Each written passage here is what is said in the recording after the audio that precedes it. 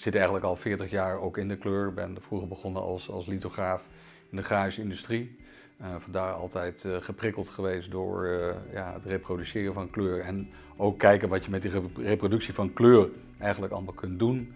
In de loop van de jaren daar ook systemen voor ontwikkeld die het mogelijk maken om in een grotere kleurengamut te reproduceren in de grafische industrie dan standaard CMYK.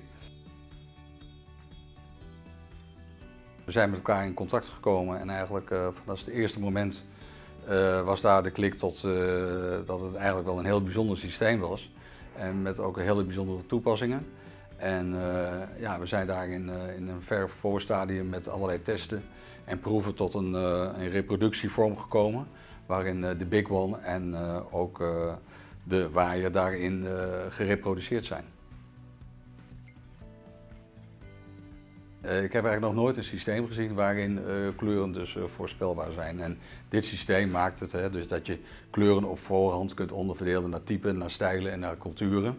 En daardoor een, een voorspelbaarheid van kleur kunt geven. Het, het, systeem van Color Navigator maakt het namelijk mogelijk dat je het, het vast kunt leggen waar kleur belangrijk is, voor welke doelgroep, voor welke segmenten.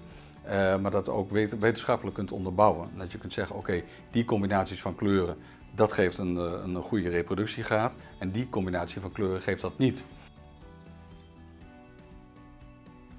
En wat vreemd is eigenlijk als je gaat kijken dat er over kleur eigenlijk heel weinig verteld wordt. Het is altijd verbazingwekkend als je ziet dat hele grote concerns uh, kapitalen spenderen aan uh, uh, inkoop, logistiek, HR, noem allemaal maar op en het moet allemaal goed georganiseerd zijn.